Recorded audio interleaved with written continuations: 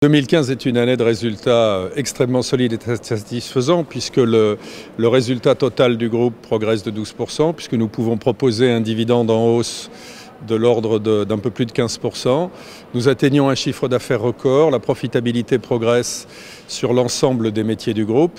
Donc c'est une très belle année pour le groupe, dans un environnement qui n'a pas été facile, puisque les marchés ont été volatiles, que les taux d'intérêt restent à des niveaux qui sont extrêmement déprimés. Mais je pense que c'est une année où nous recueillons les fruits des efforts que nous faisons depuis cinq ans avec Ambition AXA. C'était la dernière année de ce plan. Euh, nous avons atteint l'ensemble des objectifs que nous nous étions euh, fixés. Le groupe est aujourd'hui un groupe extrêmement solide, en développement et en transformation, et donc il est prêt à aborder une nouvelle phase de son histoire.